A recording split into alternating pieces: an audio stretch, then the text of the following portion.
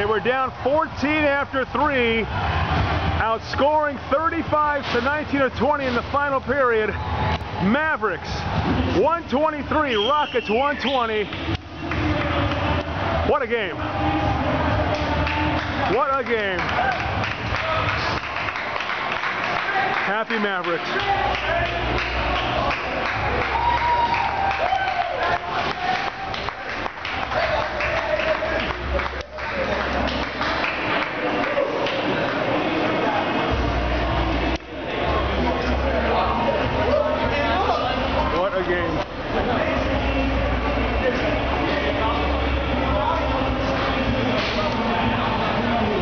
123-120 the final.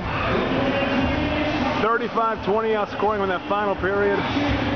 They were down 14 after three. And somehow they got it done. Mavericks still undefeated at home. 8 and 4. Houston Falls 8 and 5. I think we're still waiting for Dirk. Let's keep it here.